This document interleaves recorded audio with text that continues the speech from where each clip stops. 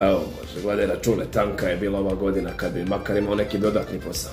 Pa da si žensko, pa da snimaš za OnlyFans. Dobro, a šta ti je to? Pa malo provokativniji tip videa i slika. A odakle ti znaš za to? Pokazao mi Bokiša. OnlyFans. Po dobro, možda bi ja mogao ovo. Ali šta da snimam? Ja, zvaću onoga ćelavog manijaka Martina, on sigurno zna. Halo Martine, reci mi šta bi mogao da snimam za OnlyFans? Gde nađe mene Gangula Bokiša ti bre manijak, zove njega. Što se priča da je Bokiša manijak? Evo da, da se vratim poslu kako beše ono maćih, a da step mom.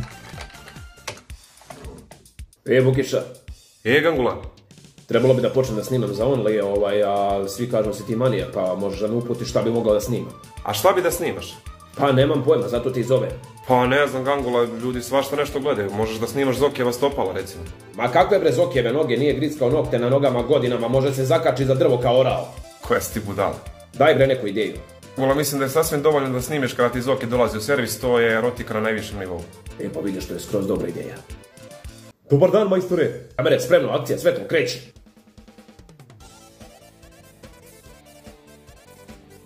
Pa da počnemo.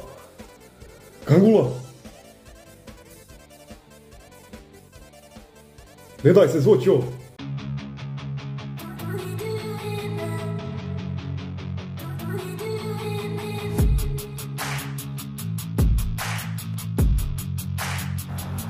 Pa da.